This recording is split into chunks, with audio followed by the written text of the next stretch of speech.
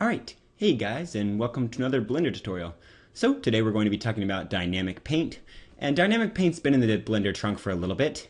Uh, and it allows us to do some really cool things. Some things that uh, are hard to accomplish in Blender otherwise without the use of uh, animated textures that can really fill up the, uh, the memory and uh, make render times quite a bit longer. So we're going to look right at what Dynamic Paint is and uh, we're going to first start creating a plane.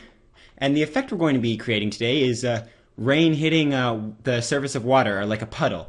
And um, in a tutorial later, uh, maybe even this Friday, we're going to look at uh, how to concentrate dynamic paint to a specific area using textures. But right now, we're just going to look at creating the basic effect. So we have our plane here.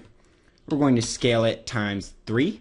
Uh, actually, we'll do times 2, I think will be good. Yep. So now we're going to tab into edit mode, and we're going to press W. We're going to subdivide... Um, the number of cuts to be 10 first, and then we're going to press subdivide again, and we're going to make it, uh, let's go ahead and go with 4. Now, um, depending on the um, resolution that you want, like if you want your simulation to be a very high resolution thing, you may want to uh, increase the subdivision, but for what I want to show, I think this will be sufficient enough. So, now we have our plane that's all been subdivided.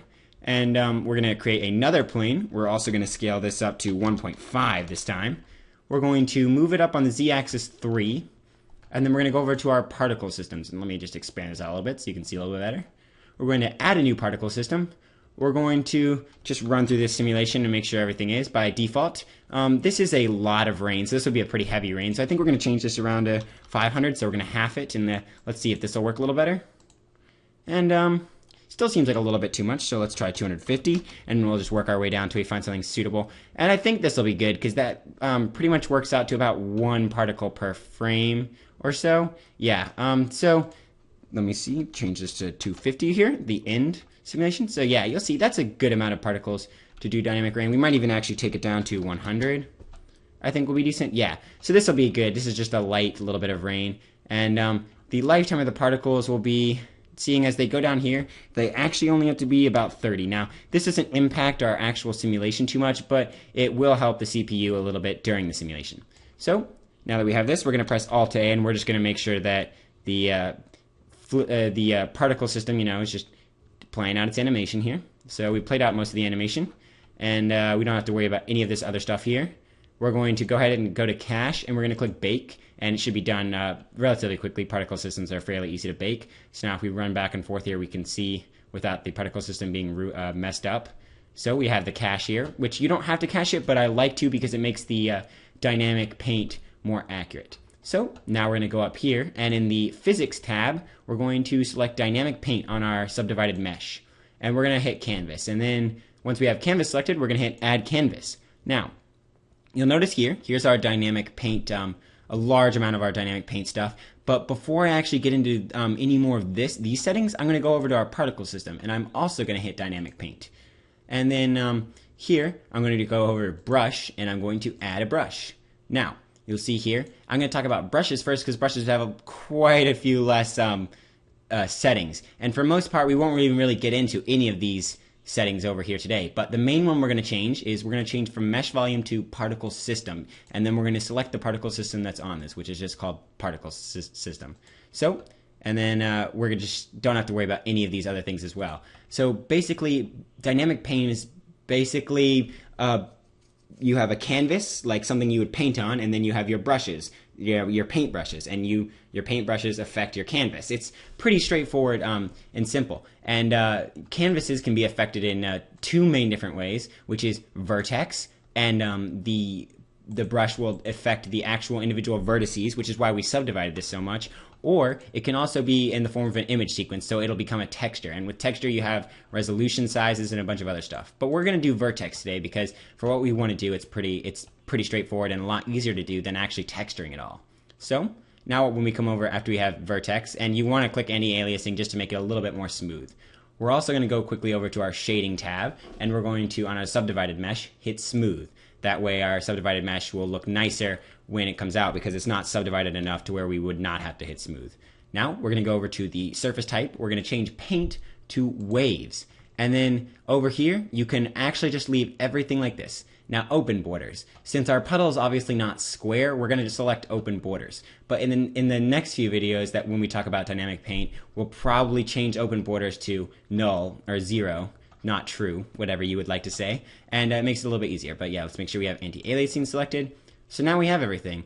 And so now um, dynamic paint is quite a bit like um, smoke simulations until you cannot uh, bake a cache until the file is saved. However, we can go ahead and run the simulation.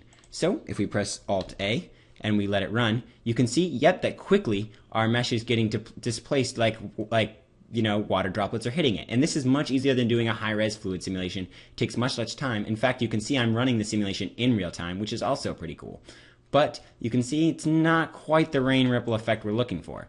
So we're actually going to go back up to our brush and the paint source. Now we're going to change the solid radius to 0.1 and uh, if we go back over here, you can see that the, you know, the particles in a, in a sense are affecting the mesh in a much smaller way, actually allowing for good ripples here.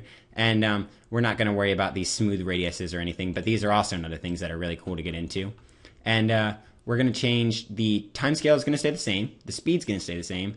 Now the damping, the damping is how much the wave is going to go. Um, it's basically going to be displaced throughout the text. So I believe if we turn this up, Let's go to, you know, for instance, 0.5.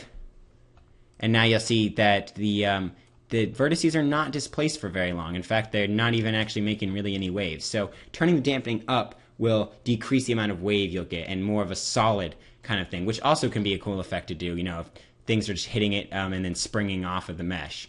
But we're going to change the damping down to 0.1.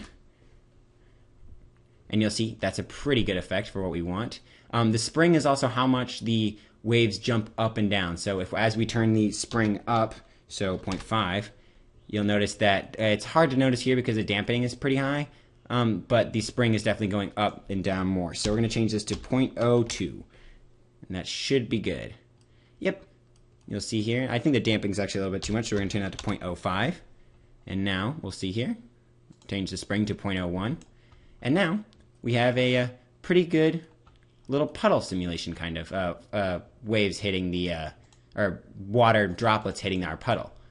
So now that we have that, that's pretty much it and all the effect you need. Now this uh, this simulation here is not always the most practical, as uh, especially if you have very large meshes that you want um, you know rain to be displaced upon, and you have to subdivide it quite a bit um, it's a little bit harder. And so, and for that, you might want to bake image sequences, but you have the same problem. Whereas if it's a big mesh, you're probably going to want high resolution images. So you're going to end up with the same memory problem. And we're going to talk about, um, hopefully in our next video, how to uh, avoid this or at least decrease the amount of strain it's going to have on rendering. But that's all we're going to talk about today. Um, hope you all enjoyed and learned something. Thanks for watching.